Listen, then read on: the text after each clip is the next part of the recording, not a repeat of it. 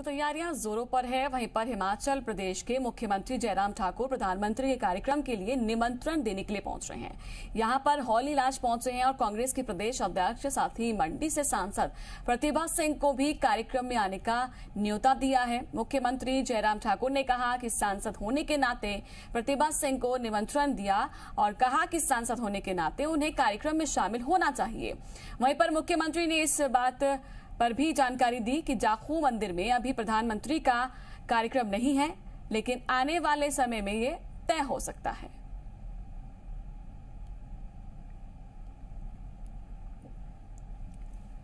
इकतीस मई को हिमाचल प्रदेश की राजधानी शिमला में होने जा रहे प्रधानमंत्री की रैली के लिए भाजपा प्रदेश प्रभारी अविनाश राय खन्ना, कैबिनेट मंत्री सुरेश भारद्वाज और साथ ही भाजपा प्रदेश अध्यक्ष सुरेश कश्यप सहित अन्य पदाधिकारियों ने शिमला शहर में जगह जगह पर जाकर पीएम की रैली में आने के लिए निमंत्रण पत्र बांटे। तो वहीं पर दूसरी ओर पीएम के रोड शो को लेकर रूट में जाकर निरीक्षण किया है ताकि सही तरीके से प्रधानमंत्री का रोड शो पूर्ण हो सके।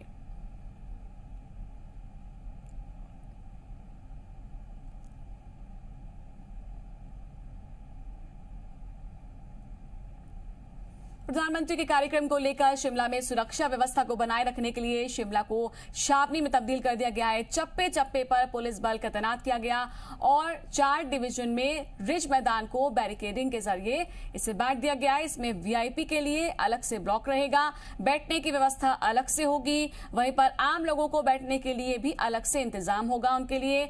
इस दौरान रिज मैदान के आसपास दो हज़ार पुलिसकर्मी तैनात रहेंगे और ज़िले में पाँच पुलिस बल तैनात तैनात रहेंगे। अलग अलग बटालियन मोर्चा संभालेंगे और शिमला को इस दौरान सुरक्षा के मद्देनजर रखते हुए चार सेक्टर्स में बांट दिया गया है।